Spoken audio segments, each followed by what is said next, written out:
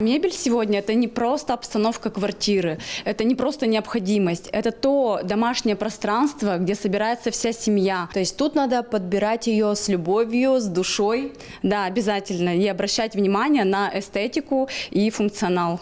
Как проверяется качество материалов у производителей мебели? Э, Здорово, когда производитель мебели предоставляет тестировать свои материалы. Взять какой-то фасад, например, да, или кусочек столешницы, протестировать, э, погрузить ее в воду, проверив на влагостойкость, ее поджечь, э, провести по ней ножиком, то есть проверить на антивандальность и на влагостойкость, на все самые необходимые качества. Какая мебель сегодня более востребована у людей?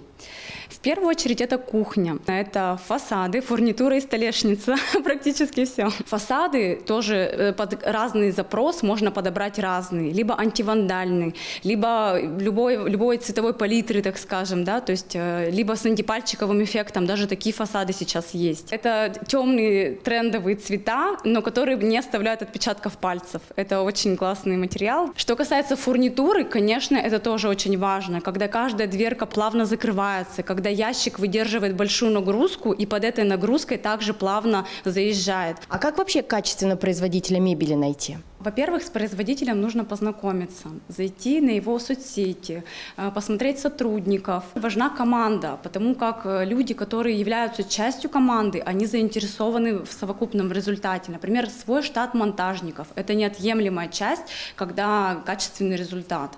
Вот. Ну и, наконец, отзывы. Посмотреть, с кем сотрудничает компания, с какими строителями, застройщиками, дизайнерами интерьера и какая у них обратная связь о компании. Что главное для производителя мебели сегодня? это делать мебель для людей, вкладывать туда душу, потому как мебель это не просто объект, который стоит дома, это то пространство, э, которое тебя наполняет, вдохновляет и заряжает.